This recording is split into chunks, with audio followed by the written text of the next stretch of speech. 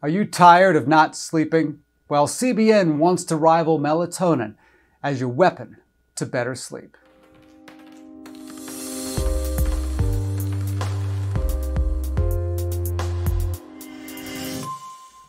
Welcome.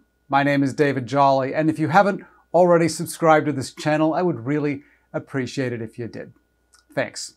Well, melatonin is widely used as a sleep aid and has proven to be a popular alternative to prescription drugs such as Ambien. Those who use melatonin prefer it to the alternatives due to the fact that it is natural, affordable, non habit forming, readily available without a prescription, and without the side effects of traditional options. And there may also be some additional benefits to taking melatonin as it has some antioxidant properties that can help reduce the production of cortisol, the stress hormone, control blood pressure, and enhance the immune system. Well, guess what? There is now a competitor to melatonin with many of the same benefits and perhaps even more. CBN, or cannabinol, is a cannabinoid compound that many believe will bring sound sleep to those who use it. Advocates of CBN have readily promoted the fact that CBN has unique sleep promoting effects. And one of the major benefits is that sound slumber was not followed by groggy after effects or a fog the next morning. Anecdotal claims expound on clarity and the feeling of restful sleep the next morning. CBN is the most sedative of all of the cannabis compounds. CBN is formed when THC, the main active ingredient in cannabis, is heated and exposed to oxygen. Cannabinoid type receptor 1 or CB1 is the most studied receptor in the endocannabinoid system. The manner in which different cannabinoids bind with this receptor has a significant influence on their effect. For example, when THC binds, it leads to a euphoric or intoxicated sensation. CBN acts in a similar manner as THC in the body's CB1 receptors, but in a much milder way. CBN's preference is to bind with CB2 rather than CB1. And similar to another and better known cannabis compound, CBD, the benefits of consuming CBN include improved sleep quality, pain relief, and anti inflammation.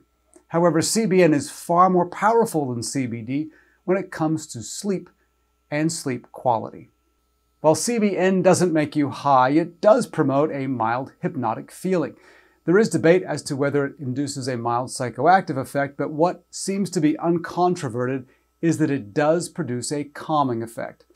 There is research that suggests that 2.5 to 5 milligrams of CBN has a similar effect to a moderate dose of Valium, and of course, without the side effects of Valium.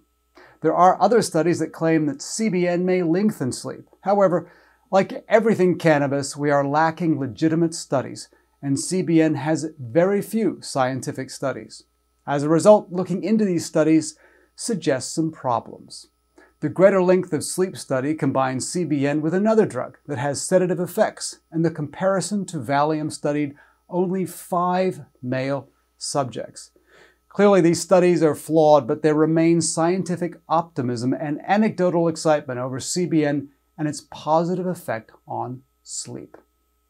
And the question remains will CBN overtake melatonin in the natural sleep war? Uh, no. While it's true that the demand of CBN or for CBN is increasing steadily, and according to MJ Biz Daily, last year's sales of CBN reached more than $65 million in California, Colorado, Nevada, and Oregon, such numbers pale by comparison with melatonin melatonin is projected to reach $2.4 billion in sales by 2025. The real reason why CBN will not compete with melatonin for the sleep aid crown is due to availability and price. Melatonin can be purchased in pharmacies, supermarkets, large department stores, and of course, Costco.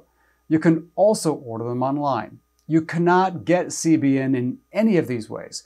CBN, the real stuff, contains THC, and that is not readily available. Additionally, cannabis is not legal in every state, so availability may be dependent on location.